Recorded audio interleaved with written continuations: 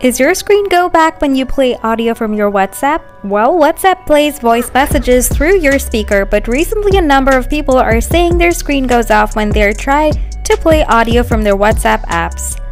Now, if you have the proximity sensor issue when you try to play audio or voice recorder on your WhatsApp, don't worry, because in this video, I'll show you or going to show you a quick way to solve your problem. That will fix the proximity sensor for your WhatsApp. So, let's start. Before you check any process for your WhatsApp, check your proximity sensor, because often this problem can happen for hardware issues. So, open Setting, tap All Specs, scroll down to the kernel version. Now, tap for a few times.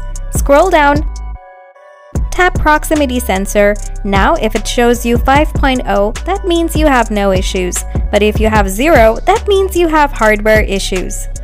If you have 5.0, follow the next process to solve your problem. Open WhatsApp, tap 3 dot, tap Chat, scroll down to Chat Backup. Choose your Google account and hit the Backup button. Now, go back.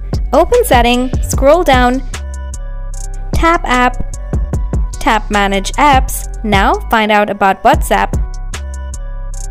Scroll down Other Permission.